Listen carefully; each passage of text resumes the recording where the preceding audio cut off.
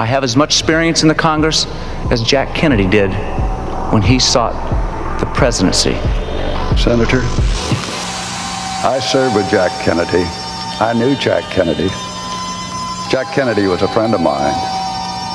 Senator, you're no Jack Kennedy.